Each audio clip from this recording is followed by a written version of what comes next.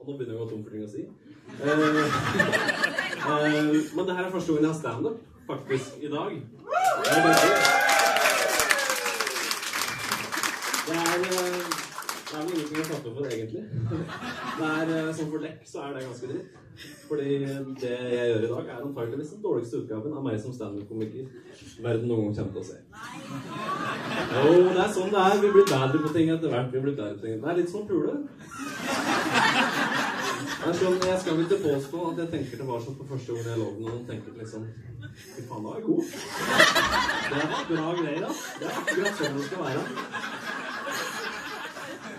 Eh, men akkurat som når jeg ligger med folk, så skal jeg vel få dere til å lære litt. i hvert fall.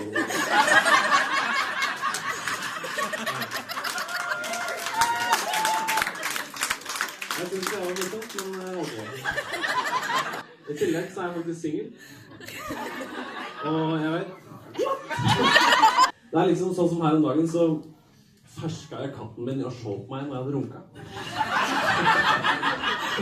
Og da får det gamle uttrykket eh, 'kattens blikk sier mer enn tusen ord'. Jeg satt liksom i hjørnet der og bare sånn Hva faen er det gjør med? Så det rista på hodet mine. Det var helt ærlig. Eh, som om jeg liksom ikke er skamfull nok fra før, da. Er sånn der, ja. Uh, jeg kan jo ikke se folk i øya første halvtimen etter jeg runka. Det er helt sant. Jeg føler liksom at folk kan se det på meg, hva jeg driver med. Og det er sikkert litt fordi det er så mye sæd på klærne og sånn, men altså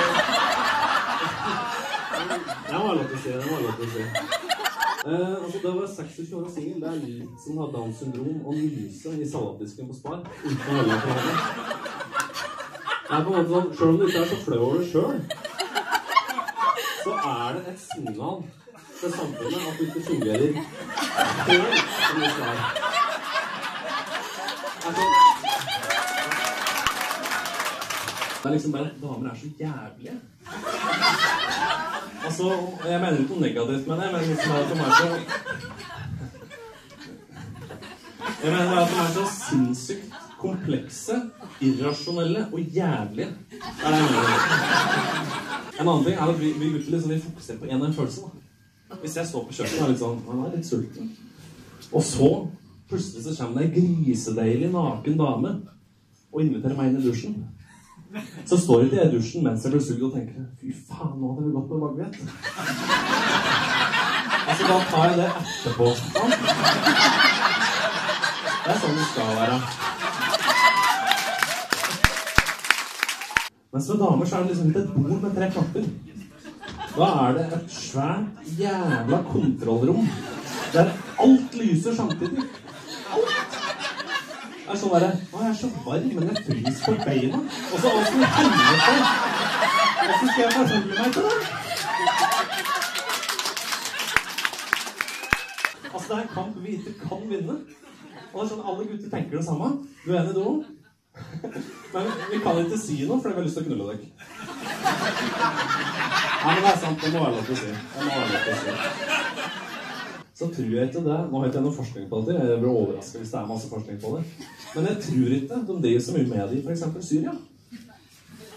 Liksom, for meg så er det et tegn på velferd når du tar bilde av pikken din og sender det til noen du er glad i. Sånn? Da hagler ikke bomben utafor døra di. Det ikke sånn Å nei, foreldrene mine har vært sprengt. Da gir meg to sekunder. Sant? Da har vi det ganske bra. Og på en måte så er dickpics en ganske bra trend. Jeg er glad i det, liksom. For det er Hva skal jeg si? Det er veldig rett på sak, da. Det er liksom sånn som bestemor pleide å si. Det er vanskelig å misforstå betydningen bak en stiv kukk.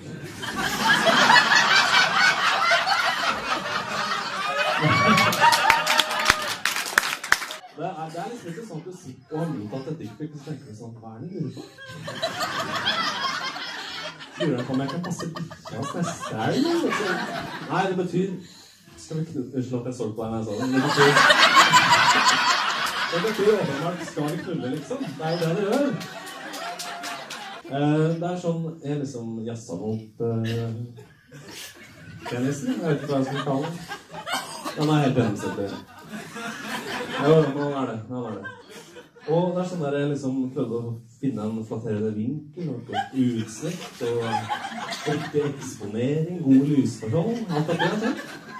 Men greia med dickpics, folkens, er at uansett hvor mye du gjør fototeknisk, så blir det helt jævlig. Og det har ikke med meg å gjøre, det skjønner jeg ikke sant? For det er sånn derre Det motivet du jobber med, er ikke verdens mest fotogene. Det er liksom Et mannebein på direkten er ikke det nydeligste jeg vet. Sånn rent estetisk, det er det ikke. Og når du Ja, du er enig.